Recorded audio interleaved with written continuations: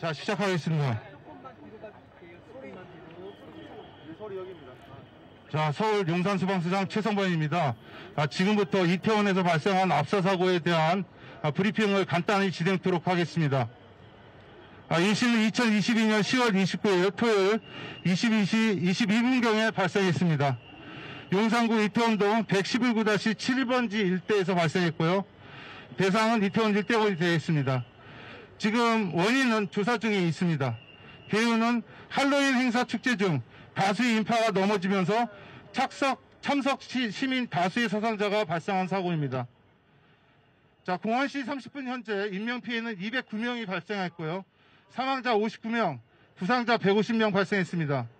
사망자 59명 중에는 병원 이송 14명, 13명, 현장 안치 46명이 포함된 치수입니다. 아, 동원 상황은 아, 소방 364명 등 해서 843명, 848명이 참여했고 장비는 소방차 94대 등 143대가 출동하였습니다. 자, 다음에는 주요 활동 사항은 생략토록 하겠습니다. 아, 지금부터 지금 시시각각대로 사상자가 계속 발생하고 있기 때문에 아, 지금부터 한 30분 후에 아, 제2차 언론 브리핑을 실시도록 하겠습니다. 됐습니까? 어떤 걸 말씀드릴까요? 예, 천천히 한번 말씀드릴게요. 용산구 이태원동 다수 사상자 발생 구조 출동에 관련된 언론 브리핑입니다. 이 씨는 2022년 10월 29일 토요일 22시, 22시 22분경 발생했고요. 장소는 용산구 이태원동 119-7번지 일대입니다. 아, 지금 다수 사상자 발생 원인은 조사 중에 있습니다. 개요로는 할로윈 행사 축제 중 다수의 인파가 넘어지면서 참석 시민 다수의 사상자가 발생한 사고가 되겠습니다.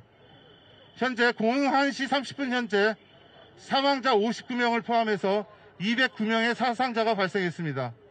동원 상황은 소방 364명 등 848명이 동원되었고 아, 소방차 94대 등 143대가 출동하였습니다. 나머지 주요 활동 사항은 어, 이 판을 보시면서 참고하시기 바랍니다. 됐습니까? 자, 한 30분 후에 2차 언론 브리핑을 다시 하도록 하겠습니다.